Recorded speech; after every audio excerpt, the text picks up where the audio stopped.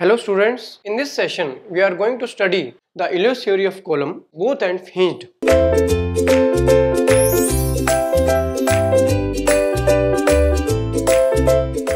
We are going to derive Euler's load basically. What is the theory and what is the safe load of Euler's by given by Euler's theory and we are taking the case both ends hinged right. So we have uh, seen that in the previous cases there are basically four cases both are hinged one fixed other free.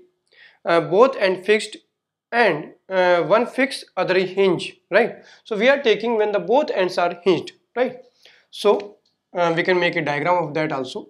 Like this suppose this is the load applied and after applying the load suppose this is the deformation or bending in the beam right? And this is hinged from this side and the load applied is p P load is applied. And we want to find out the safe load given by Euler's theory right? So let us say this is our uh, reference point. From here we are taking the direction upward in x direction. Suppose this is our x direction. And the the deflection deflection at a certain point here this point this point is uh, suppose uh, c point. This is a point this is b point at C point, what is deflection at a distance x? So this is the deflection. This is the deflection. So this is deflection at a distance x and deflection is given by y, right? And you know that this is a concave structure, concave, right, towards the initial axis. So towards the original axis, the structure is concave, bend, bending is concave towards the axis, right? So it is a negative bending moment, right? So check the sign convention that this is a negative bending moment right? Whether this or in opposite direction this will be a negative bending moment right? And say it is the uh, the length of the column is capital L. Suppose the length is given to us that is capital L right now, uh, from the deflection equation, you know the deflection equation, go to the deflection chapter and find out what is the deflection equation for a beam. Where there we have found out the deflection of a beam. So from the deflection equation, we know that deflection equation, deflection equation, you should know that, that EI d2y by dx square will be equal to if it is negative you know this is negative because it is concave so minus m at a certain distance x. We are talking about the distance x. So this is our deflection equation. Deflection equation ei is the modulus of elasticity i is the moment of inertia minimum moment of inertia. We have to take the uh, minimum moment of inertia d2y by dx square equal to minus mx right so from this equation, you know that the bending moment here is given by P, the load multiplied by the perpendicular distance. So that will be equal to, that will be equal to minus P multiplied by Y. So this is the deflection equation.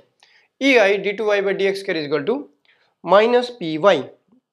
So this is the deflection equation, right? We can arrange this equation and we can use the double differential equation like this like so d2y by dx square here d2y by dx square here will be equal to and it can be taken in this direction that p by ei p by ei multiplied by y should be equal to 0 so d2y by dx square plus p by ei into y is equal to 0 we have taken this py in this direction in left hand side and ei is divided both side by ei. You will get this equation right and uh, we can further simplify this equation. This p by ei this p by ei let us say this p by ei ei is equal to some constant say m m square right? M square. So we can write from this equation d2y by dx square plus m square y equal to 0 this is the deflection equation in differential form right? And it is double derivative right? So what is the solution of this?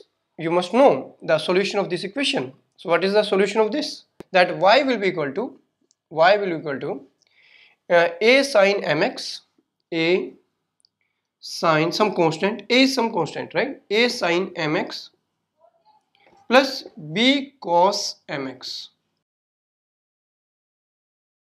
this is the solution. Solution to this. So this is the solution to this. Solution of this differential equation that y which we have to find out is equal to some constant a sine mx plus b cos mx. M is this quantity where m square is given by p by ei where a and b a and b are constants right which we have to find out. A and b are unknown to us remember the boundary condition. Boundary condition you should remember right? We have studied the boundary conditions for this case. Uh, what are the boundary conditions? Boundary conditions first boundary condition was that that x is equal to 0 y is equal to 0 x is equal to 0 y will be equal to 0 and second boundary condition was x equal to l y is again 0 x equal to l y is again 0 use these boundary conditions to solve these two unknowns a and b because following the a and b we will be needing some boundary condition. At x is equal to 0 there is no deflection. Y is equal to 0 and x is equal to l there is no again no deflection. So y is equal to 0 put these values and get the final result. And we want to find out the safe bending load. Uh, same Euler's bending load using the Euler's theory of column. so first boundary condition is first boundary condition is x equal to 0 y is equal to 0 x equal to 0 y equal to 0 at x is equal to 0 y is equal to 0 put here and get the answer. Y is 0 that is equal to in this equation equation number equation number 2 this equation number 2 a sine a sine 0 plus b cos 0 a sine 0 b cos 0 put the value here. Uh, sine is sine 0 is 0 cos 0 is 1 so you will get b is equal to 0 b equal to 0 so from here we have uh, now we have found out the one unknown that b is 0 right? If b is 0 if b is 0 then what the equation will become?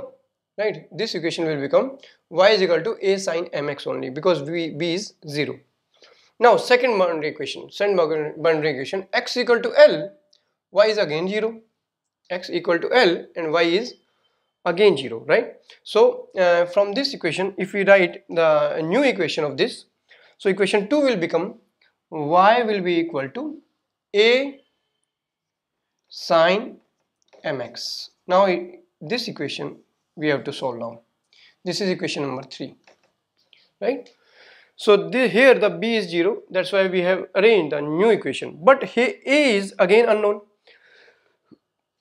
a is unknown that is okay. But uh, what is the value of uh, x equal to l y is equal to 0 put here. So put second boundary condition boundary condition number 2 and what is that boundary condition? That x equal to l y is again 0 put here x uh, uh y 0 y equal to 0 that is equal to a sine ml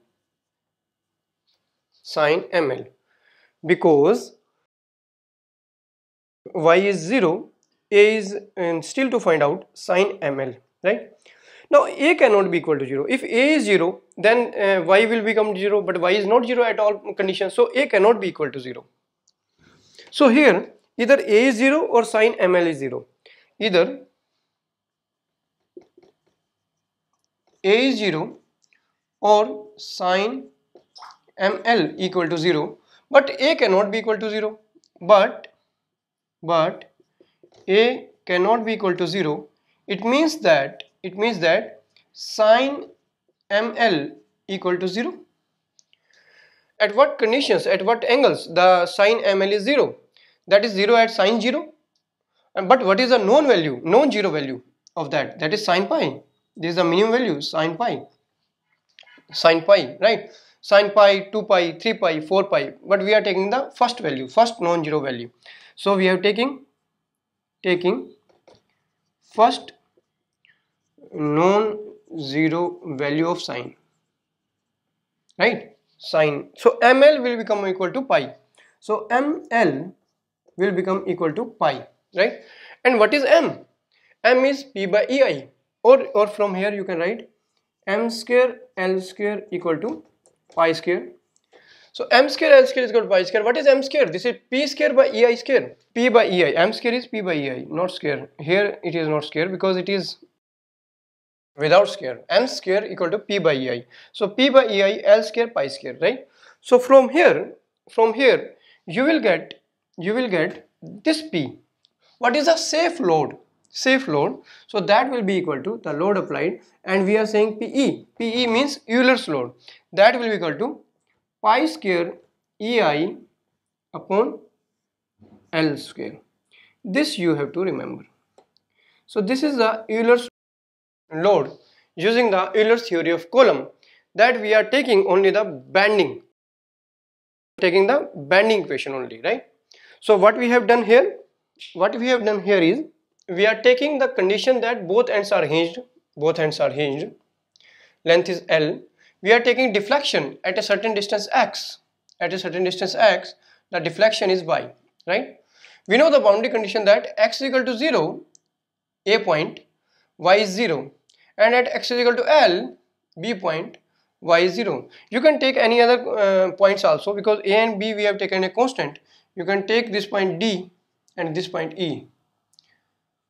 Do not confuse with the points. This a is different b is different and e d is different right so we know the deflection equation ei d2y by dx square is equal to minus mx or minus py because the um, moment is p multiplied by y and because of concave curve uh, towards the axis this is negative minus py according to our sign convention.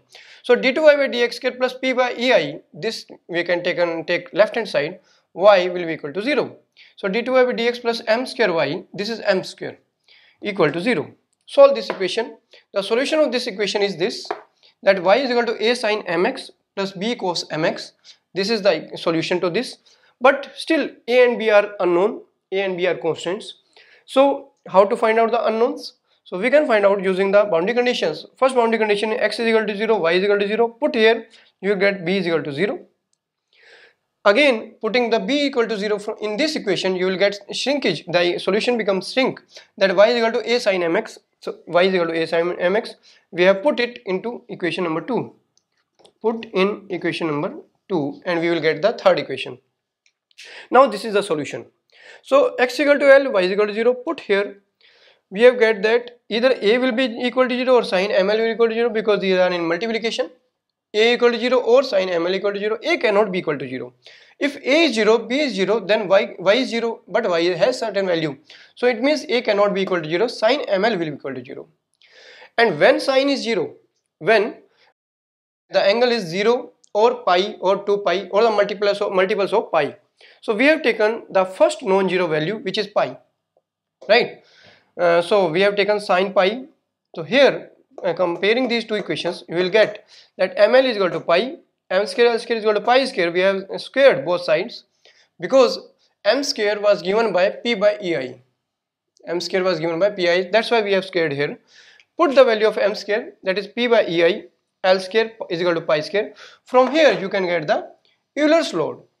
For the uh, both hinges that pi square ei upon l square. So this is how the Euler's load is found out using the Euler's theory of columns.